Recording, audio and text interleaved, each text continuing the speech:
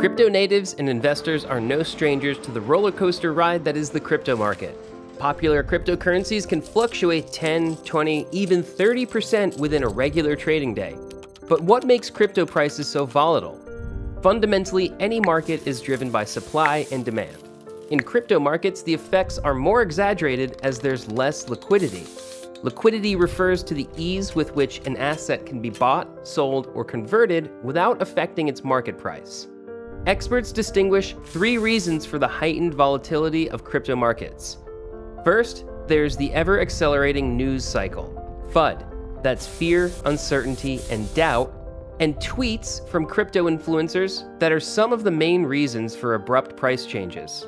A good example is Elon Musk's tweet from early May of 2021 saying Tesla would no longer accept Bitcoin due to energy concerns. And in less than 280 characters, Bitcoin tumbled nearly 15%. Depending on the nature of the news, fear or greed could be incited among traders, the two most important elements of any stock market.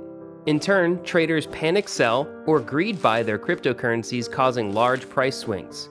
As these price swings become larger and larger, other traders will react accordingly, causing even more volatility.